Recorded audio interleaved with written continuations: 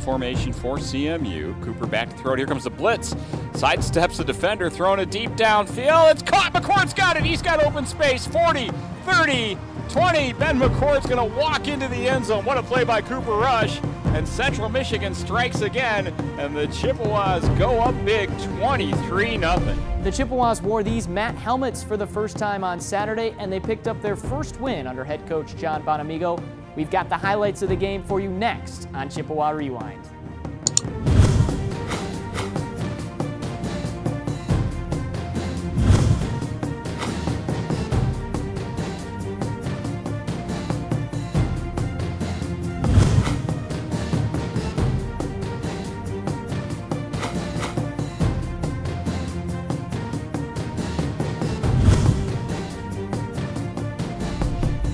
Welcome into our second episode of Chippewa Rewind presented by the Morning Sun.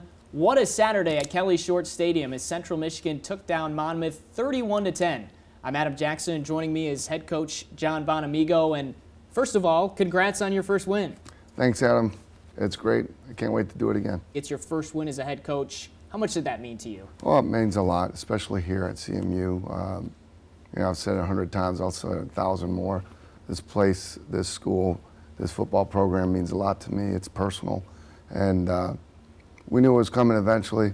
Didn't come as soon as we had hoped, but I'm just glad to get that first one out of the way. Well, let's dive right into the highlights. The Chippewas, unlike last week, got the football first, and you get things going with Cooper Rush finding the receivers, different ones on a couple of these plays. He, he finds Mark Chapman here. Yeah, Cooper scrambling out of the pocket there. Our scramble rules take into effect. Find, finds Mark there for a quick completion and first down. He continues to spread the wealth next to Anthony Rice for 14 more yards. Yep. Again, good pocket here. He steps up and uh, nice easy throw over the middle there. Uh, good catch. Good uh, catch by Anthony. I think they thought the ball was out there. Replayed. Uh, stuck, stuck with the original ruling. Uh, again, don't like to see the ball on the ground, but I do like to see the chains move. That was on a third down completion, and then again another third down completion as Mark Chapman comes up. Yeah, we a did catch. a really good job of converting on third and down. I think we got in too many third and longs overall, but uh, again, just to be able to keep the ball moving up the field. Again, Mark there, uh, open on the sideline, nice pass by Cooper, and again moving the chains. Have a lot of success through the air on that opening drive. Then you finish it off with a run again by Mark Chapman. Good job here, uh, blocking on the edge there. Get uh, Beamish pulling from the center position, and uh, good run by Mark, stretching out there to get to the pylon, and uh, touchdown. Seven to nothing Chippewas. We fast forward after you guys get a stop. Again, you go on another touchdown drive. Same as last time, Cooper starts with a lot of success through the air, this time to Chapman again. Yep, good, good uh, curl route there. A uh, little high, nice job by Mark going up and getting that, and uh, love to see those chains moving. Cooper Rush on this next one. We saw this a little bit later in the game, able to scramble, and he finds Ben McCord on a third down completion.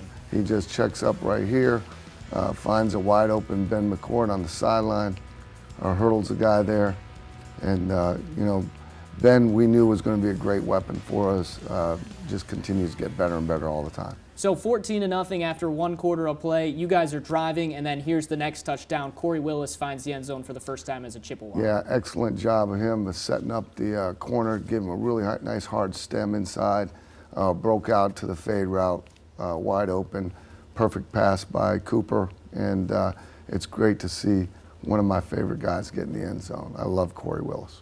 All right, Coach, well, how about some defense? You get a sack from Nate Brisson Fast on this next play. Good pursuit. He stayed with it. Another young player, freshman playing in the game. Uh, you redshirted last year. Uh, it's good to see B Fast get some uh, juice up the field there and, uh, and get a much deserved sack. So you do end up getting the stop, and then Anthony Rice once again comes up with a terrific catch in traffic.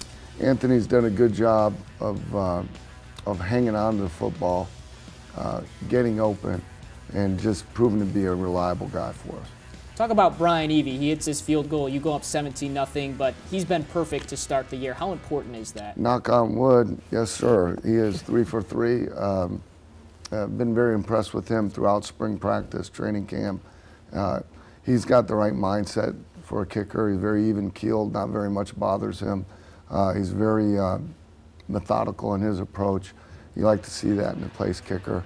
I think he's got a bright future here and possibly one uh, later on. So it's 17 to nothing Chippewas, and then you get your first big play offensively this season.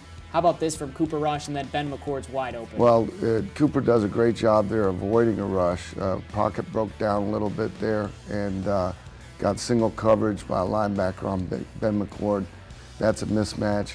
Great throw by Cooper leading Ben down the field, and uh, Ben just finishes off. Nobody going to catch him. 83 yards later, it's 24 to nothing Chippewas. Then Monmouth starts to go on a drive. It looks like Josh Koss gets an interception, but he just can't get a foot down. Can't get that other foot down, and uh, great break on the ball.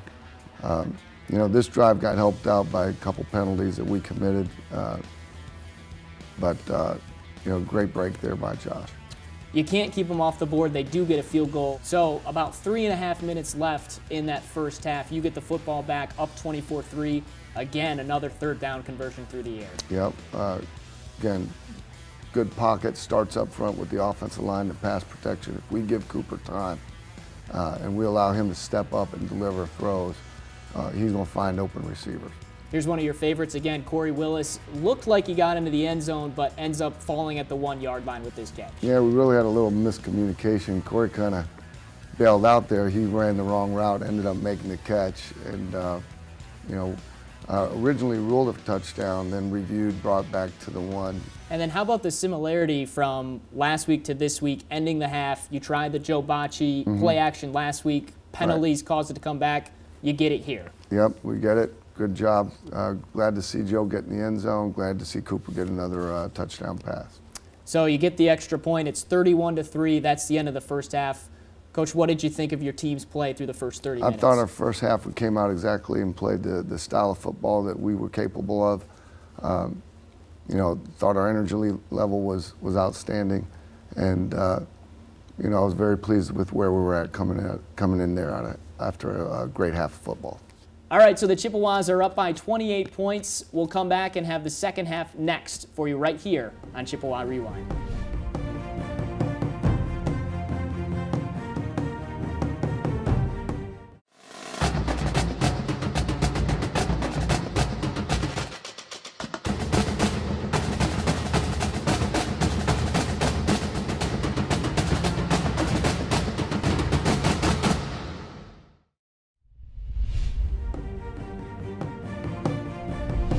Welcome back to Chippewa Rewind. As we said, the Chippewas in front at the break over Monmouth, 31 to 3. Coach, they get the ball to start that second half, and they put together probably one of their better drives of the day. Yeah, I, I think uh, they did a good job. Um, personally, I don't think we played as well coming out in the third quarter as we were capable of. I think uh, we fell victim to human nature. I think um, as humans, and Coach Parcells used to talk about this all the time, uh, we're much more wired to handle adversity than we are success sometimes. I think when, uh, if you're a competitor, uh, if you have any fight in you at all, I think when you're backed in a corner, your instincts are to come out fighting. And, and I think sometimes when you have success, you, uh, you maybe relax a little bit. And uh, hopefully this will be a lesson that we learn from and, and move forward as a football team because, man, you got to keep your foot on the gas and, and come out like it's zero zero every single time. And um, so um, I was a little disappointed in that. You know, I felt uh, we needed to come out and play the second half just like we did the first half. But uh, we'll get those things corrected, and uh, our guys are are smart enough to understand that, know the difference between that, and know that, that that's what championship teams do. Do you feel like there's some different approaches you might want to take at the half, or is that just something that'll come along with the team? I, I think it comes along with maturity and just being in those situations. You know, uh, I don't know how many times uh, in the past this team has gone into the locker room with a big lead at halftime. Sure. So uh, I think that comes with uh, with experience and maturity. They get down deep in your own territory. You force them to a third and three, and they're able to, to hook up for six yards to keep mm-hmm. the drive going. Right well-placed pass. We're in single coverage there. Uh, you know, we got to break on the ball a little bit better there. Uh, but we still got a chance here coming up. And here comes the play from them, a little bit different look. They go a uh, change of direction and get into the end zone. Yeah, great, uh, great play call by them. But really, this is this is on us. We had missed two missed tackles there, right there, point point of attack. uh, again, you talk about playing with an edge and, and being a great football team. We just got to do a better job there of tackling. You threw the ball really well in the in the first half. Didn't have a ton of rushing yards, but this was your biggest run of the day for 15 with Martez. Good job here by Martez. Good, well blocked, gets to the outside, and uh, you know we like to see that. Like to see more of that. That drive ends up ending, but then again for the second straight week, another great special teams play. Coach. Yeah, I thought this was kind of like our wake-up call here in that second half, and I thought when. Uh, when Tony made that hit, I think it, it got everybody going and it said, all right, and we just kind of went, all right, here we go. We fast forward to the fourth quarter, and here's Kavon Frazier with just a tremendous open field tackle. Really pleased with Kavon and, and what he's done. Really, both our safeties, he and uh, Tony Annese, those guys are, are, physical players. They play the pass well. Uh, they come up and play the run well. Great open field tackle. Um, just really happy with Kavon and, and uh, and where he's headed. That was a third and short. They end up going for it, and then a terrific effort play from Cantavelos to come all the way across and make great job, just trimming the fat as we call it from the backside, making a great wrap and roll tackle. All right, coach. So we continue on. They're a little bit deeper in your territory, but their threats ended with a terrific play by Tony Annese. What do you think of this athleticism? I thought that was as good a catch as I've seen all day, or, or since I've been here. Just stretched out, excellent job. It's one of the reasons why I love that kid so much. Happy for him. He gets it on his birthday, too. Happy birthday. Tony Annese comes up with the interception. That seals it. 31 to 10 is the final. Coach, what did you think of your team's play? I thought we played great in the first half. Uh, thought there were things we could have done better in the second half. There's a lot to learn from this game film. Uh, it's a, a, victory. It's a win. It's a it's a game that goes in the left-hand column. That's where we got to start stacking them. And um, it's an opportunity for us to, to grow and get better as a football team. You got to lead the band after the game in the Chippewa fight song. Probably one of the highlights of my life. Um, the only thing that I'm a little remiss about is that there weren't enough students in that student section that hung around to celebrate that victory for us. Uh, I'm really proud of our student section. You guys showed up. It was great. I thank you again. My hat's off to you. Now, stick around for the fun hang out for the end of the game and help us celebrate. Hopefully the students can get a little bit more involved. The next home game, of course, homecoming for the Chippewas. But next week coming up, Central Michigan heads to the Dome to take on Syracuse. We'll break down that game and preview it for you next on Chippewa Rewind.